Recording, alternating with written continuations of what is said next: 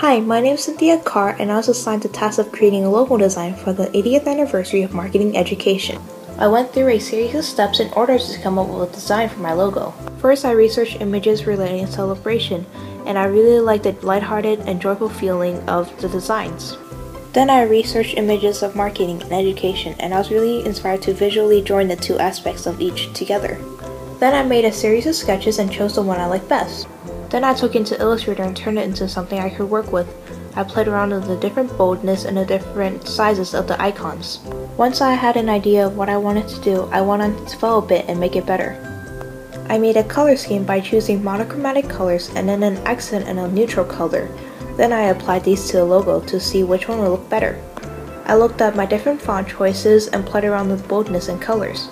This process led me to my final logo. You can see how the icons of education and marketing are joined together through their two rings.